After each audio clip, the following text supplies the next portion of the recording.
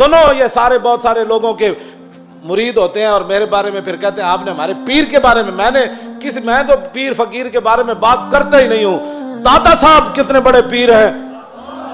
दादा साहब ने पता क्या लिखा? वली की सारी ज़िंदगी नबी के एक सांस के बराबर नहीं है। सिर्फ़ नबी के इमाम के तो खलक से औलिया।